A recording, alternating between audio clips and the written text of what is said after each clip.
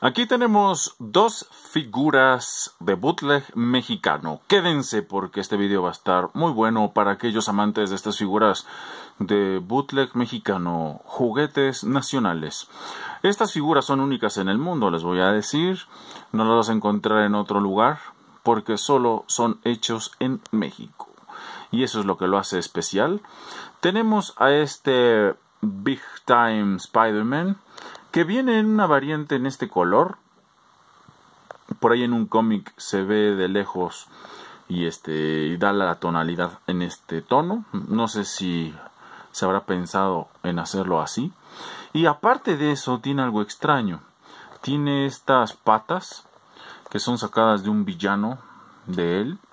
No sé si son de Octopus o es de otro villano porque tiene esta especie como de como si fuera del escorpión algo así se le, se le ven.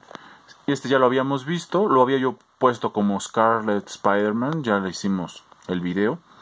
Pero em, en sí, en sí lo pintaron de otro color, de otro color al Iron Spider. Lo pusieron en rojo con, con azul, me gustó, pues sí me gustó. No encontré aquí el Iron Spider en color dorado, ¿no? Pero pues es el mismo molde, mira, no me están pintados diferente.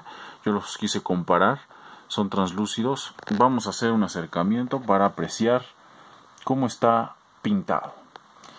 Este color translúcido lo hace ver muy chido y vamos a continuar.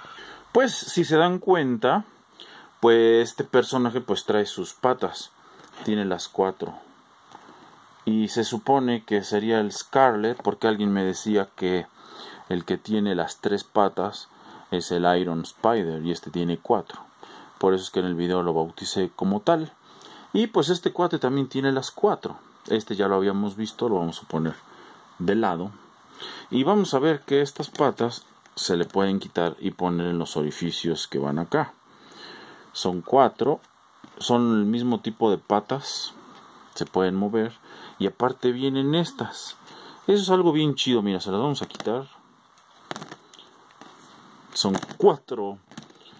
Y Vamos a ver la figura. Es de movilidad de 5 puntos de articulación, que es la cabeza. vamos a ver. Vean nada más, miren. A ustedes que les gustan las figuras, eh, no va a ser muy común si ustedes son de otro país que pues lleguen a ver algo así, ¿no? Este, yo estoy seguro que en sus países hay bootlegs muy buenos.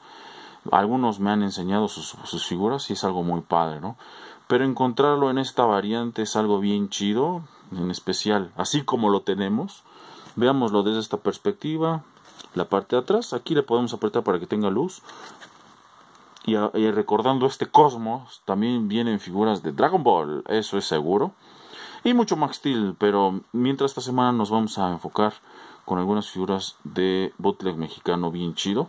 Te decía yo, son cinco puntos de articulación. Vamos a quitarle las luces. Este es 1, 2, del mismo modo, la cabeza 3, 4 y 5.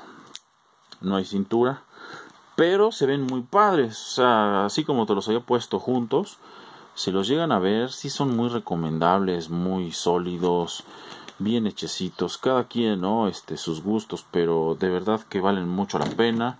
Y también podemos ver el centro de gravedad, cómo se cae y aquí podemos ver sus manos.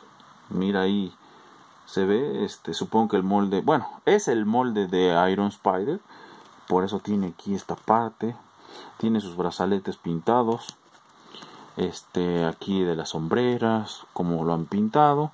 La parte de abajo y la parte de atrás, los cuatro orificios para que pongamos las patrullas. Y con esta toma ya juntos me despido.